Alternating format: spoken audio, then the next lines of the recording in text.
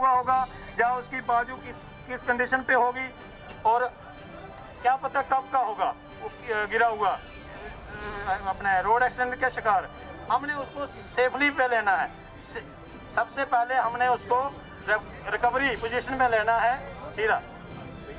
वो बीमार है, उसको वो ही पता नहीं, हमने उसको करना, और यहाँ पर ही क्या करना है, इसको स्पोर्ट्स देनी है। जैसे हमारे पास, मैं आगे बताऊँगा इक्विपमेंट्स हैं हमारे पास, हमने यहाँ पर ही दो फटियाँ लेके इक्विपमेंट आपके पास अवेलेबल नहीं होगा। हो सकता है वहाँ पे आपके पास छोटे छोटे इक्विपमेंट्स आपकी गाड़ी के बीच में भी फ़र्स्ट एड होता है इसको सीधा नहीं करना है। और इस बंदे को बिल्कुल सीधा किया, इसकी बेल्ट अगर पहनी होगी तो बेल्ट को रिमूव करना है। बेल्ट को रिमूव करके उस बंदे को फ़र्स्ट क्लास ऐसे करना है हमने इस कंडीशन पे और उसके बाद हमने देखना है क्या बंदा सांस ले रहा है या नहीं ले रहा है।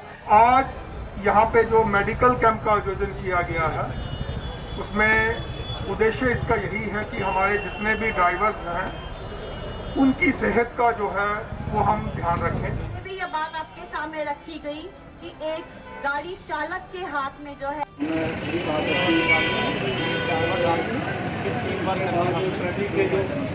बंद करनी एकदम बंद भी नहीं करनी। एकदम बंद ये दे दी है आपको। बताइए क्या तो ये बहुत बड़ा इतिहास है। जैसे आप गाड़ी चला कोई आगे से गाड़ी आई है उसको क्रॉस करना है। पहले आप कोई अगर गाड़ी किसी क्रॉस करनी है तो मेरी के मैंने पहले जाना नहीं। ये हमेशा याद रखना उसको बोलना आप और आप रुक जाओ तो उसको निकलने तो ये हमेशा याद रखने वाली चीज़ है कि पहले आप ताकि वो निकल जाए तो फिर आप क्योंकि आप आपको अपनी गाड़ी और ऐसे ही है कोई आगे स्कूल है हॉस्पिटल है तो वहाँ से कोई ब्रिज है वहाँ पे ओवरटेकिंग ना करें मोड़ पे ओवरटेकिंग ना करें और जो पैदल चलने वाले लोग हैं उनकी सुरक्षा का भी ध्यान रखें। उनका खास करके मैं यही बोलूँगा कि जो बिल्कुल सही तरीके से आपकी फिटनेस हो तभी गाड़ी चलाएँ और अच्छी नींद लें अच्छी डाइट रात की अच्छी नींद होनी चाहिए। सुबह की अच्छी डाइट लें ब्रेकफास्ट अच्छा करें लंच अच्छा करें टाइम का खाना खाएँ और नशे बिल्कुल नहीं करें। सिगरेट नहीं पिए तम्बाकू नहीं पिए तम्बाकू खाएँ ना।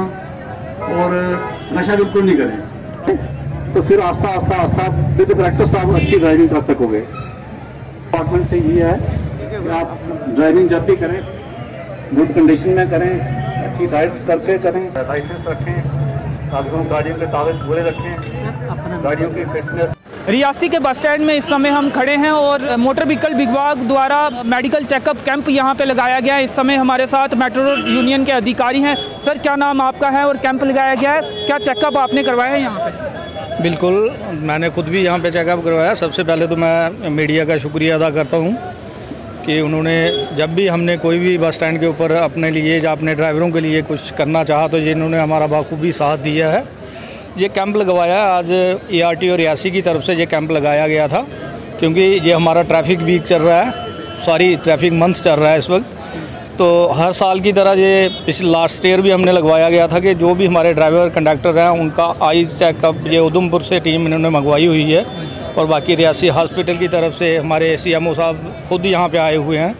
तो हमारे फिज़िकली और आई साइड दोनों का आज सुबह से ही टेस्ट चल रहा है। दस बजे हमारा लगभग कैंप शुरू हो गया था। और अभी तक कंटिन्यू चल रहा है। क्या फ़ायदा होता है जो ये कैंप लगाते हैं या फिर अवेयरनेस करते हैं? क्या लगता है वाकई में जागरूकता आती है ड्राइवरों में कंडक्टरों में, या फिर इससे जुड़े जो तमाम लोग हैं? तो कुछ कोशिशें ऐसी होती हैं कि हमें छोड़नी नहीं चाहिए। हम यही उम्मीद रखते हैं हर साल के पहले से बेहतर होगा, पहले से बेहतर होगा। और इससे ड्राइवरों में एक दूसरे को पूछ पूछ के यार क्या हुआ, क्या नहीं तुमने दवाई ली कि नहीं ली? तो इससे उनकी तादाद दिन दिन बढ़ती जा रही है। इस आज का जो कैंप था हमारा, मैं समझता हूँ कि सबसे बढ़िया कैंप जो है वो आज ही लगा है, क्योंकि लगभग सभी ड्राइवरों ने यहाँ पे अपनी आई से चेक करवाई है और उनका बीपी वगैरह जहाँ पे चेक किया गया है। और मुझे लगता है कि शाम तक हम भी अपने ड्राइवरों से जुड़ेंगे तो मुझे लगता है कि इसका अच्छा ही परिणाम हमें मिलने वाला है। जी शुक्रिया हमसे बातचीत करने शुक्रिया शुक्रिया। तो मेडिकल चेकअप कैंप रियासी के बस स्टैंड में लगाया गया है। मोटर व्हीकल विभाग द्वारा ये कैंप लगाया गया है। रोड सेफ्टी मंथ मनाया जा रहा है और उसी के तहत इस कैंप का आयोजन किया गया है। तो इस वीडियो में इतना ही। ज़िले की तमाम खबरों के लिए बने रहें रियासी अपडेट्स के साथ। नरेश भगत के साथ। मुझे दीजिए अनुमति। धन्यवाद।